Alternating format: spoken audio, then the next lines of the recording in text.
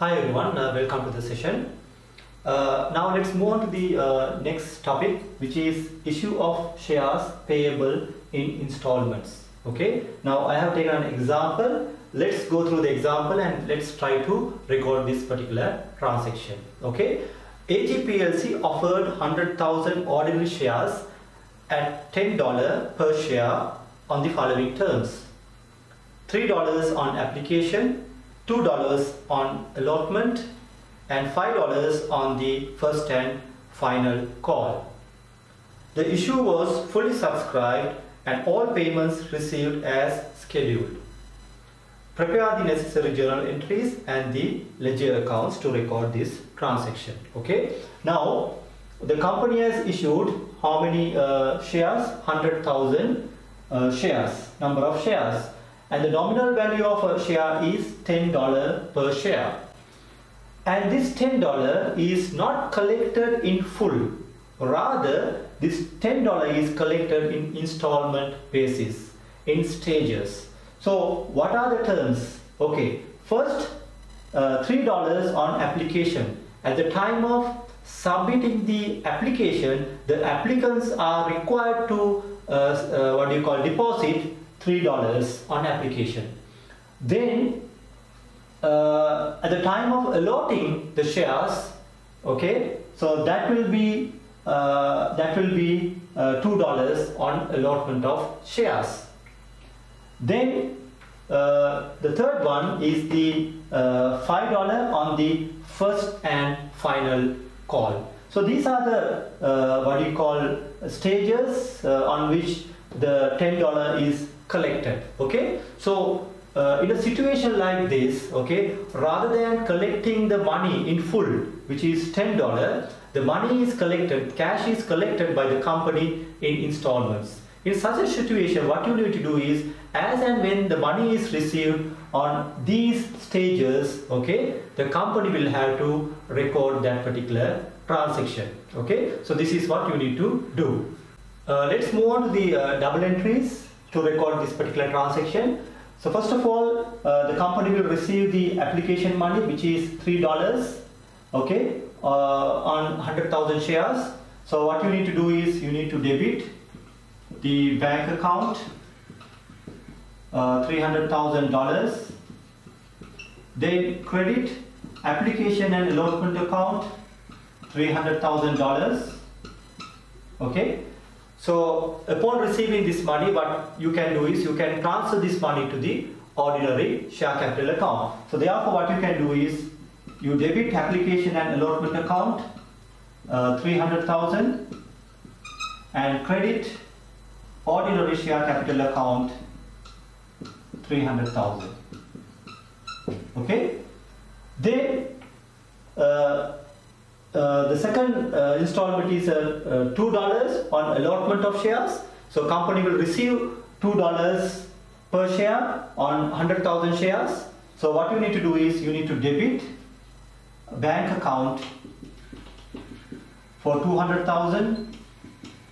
Then you need to credit application and allotment account 200,000.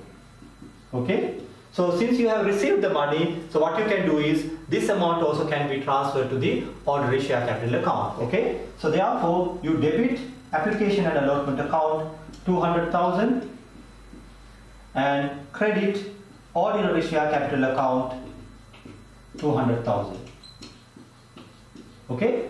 Finally, the company will receive $5 on the first and the final call. So this is a final call. So $5 per share times 100,000 which will be 500,000. So when the company receives cash, company will debit bank account 500,000 and bank will credit uh, first and the final call. First and the final call account will be credited 500,000. Okay. Then eventually the first and the final call will be transferred to the ordinary share capital account. So finally, uh, the entire amount of 500,000 will be debited to the first and final call and it will be credited to the ordinary share capital account. Okay. Now let's try to record this uh, particular transaction in the ledger accounts. Okay. So these are the journal entries that you need to pass. then let's move on to the uh, ledger accounts now.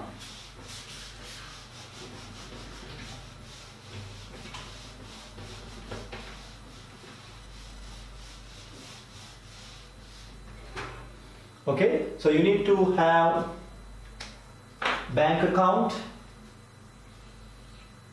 This is the bank account. Then we have application and allotment account. This is the uh, first and final call account. Then finally we have to have the ordinary share capital account. Okay. Okay. So first of all, we'll record the the application money received, which is uh, 300,000. Okay. So 300,000 will be debited here. 300,000 will be debited, and application and allotment account will be credited. The bank account. Okay. Then this uh, whatever the amount in the application allotment account will have to be transferred to the ordinary share capital account okay? So this is the ordinary share capital 300,000 and ordinary share capital account will be credited application and allotment 300 so application money uh, is recorded in full. Now second uh, installment is the allotment which is two dollars. So when the money is received by the company uh, company will debit the bank account 200,000 and application and allotment account will be credited. Uh, the bank 200,000 now again uh, this entire money will be transferred to the ordinary share capital account. So therefore you need to debit the application and allotment account ordinary share capital. Ordinary share capital account will be credited application and allotment 200,000. Okay, so finally, uh, the company will receive the the uh, the uh, the first and the final call, which is five dollars per share times hundred thousand shares, which is five hundred thousand. When the money is received, the bank account will be debited with five hundred thousand. This is first and the final call account. So this will be transferred to the first and the final call account, which is uh, the bank 500,000. Then eventually the entire amount received uh, on first and final call will be transferred to the ordinary share capital account. So this is the ordinary share capital account will be transferred 500,000. So uh, first and the final call account 500,000. Okay. So thereby these accounts will be zero. Eventually your bank balance will be how much? 1 million. Balance carried forward. 1 million. And okay this is the debit balance. And ordinary share capital account also will have a credit balance of 1 million okay? So this is how you record uh, when shares are uh, payable in installment basis okay? In stages okay? So this is a very basic uh, question that we discuss okay? Now let's move on to a bit complicated uh, question uh, where the shares are payable installment with a premium and if the shares are oversubscribed in such situation how the transaction will impact the journal entries and the ledger accounts okay? So we'll move on to the uh, next session. In that session i will be discussing uh, that particular topic okay? So thanks for watching. We'll uh, we'll see you soon again